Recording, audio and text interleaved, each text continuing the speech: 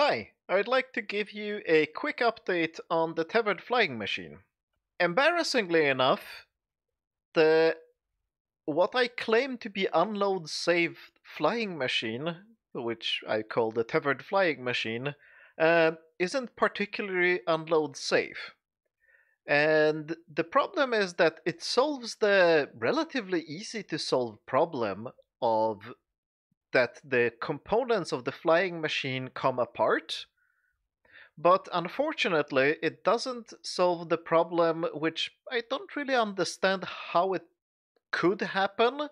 But the problem ends up being that this slime block here gets stuck to this slime block. Let me try to reproduce this problem because I have now figured out how to reproduce it. So we're just gonna let this one run for a while. And then I'm gonna do something like this. I'm gonna teleport away and teleport back. And it's still working. And I will continue doing this until it breaks. This actually doesn't take long. This is embarrassingly common problem.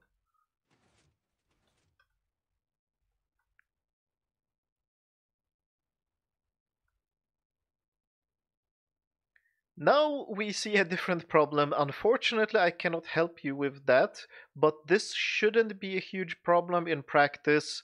This is just this clock just got wonky and got stuck. Um, if you turn the clock on and off on some timer, which probably you should do in a farm, uh, we turn off the clock, we turn the clock back on, and the machine still works. So this is not the big problem. Let me try to reproduce the big problem again.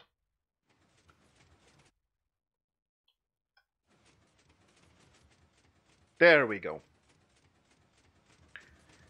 Both the clock got in some very wonky state. Oh, this is probably how... Oh, now I realized how it breaks.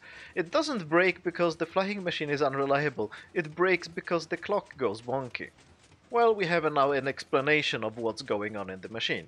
But anyway, so we stop the clock, as your farm would do. We restart it, still doesn't help. The left one gets repaired, the right one is still broken. But there is a solution. If we make this bar out of honey instead of slime, as long as the clock cycles, the machine can recover itself. Now, I have tested this teleporting away and back, and yes, the clock goes wonky, but since the... Oh, you saw exactly what happened there. The clock got wonky, and the machine ended up in the bad state, but it keeps kinda working. For some reason this repeater is stuck permanently turned on. This clock definitely shouldn't look like this, but it does. But if you have a timer on your clock, it will turn off and eventually turn back on. The left one is now broken, of course, but that's because we didn't change it to honey. But this one keeps working. So I do believe that this is the fix for the problem. I'm looking forward to finding new bugs in uh, how Redstone deals with being powered and unloaded at the same time, because that does not seem to be very reliable. Another thing worth noting is that if you're using this in a farm, especially sugarcane or a bamboo farm, you will end up with a completely different loot behavior of the dropped items because of the honey.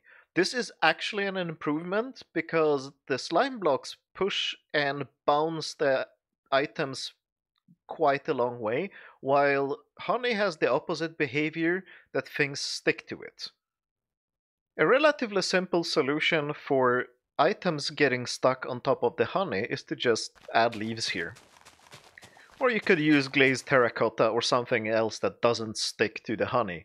And now if we try this, you can see that repeater was stuck on the honey and now it fell down.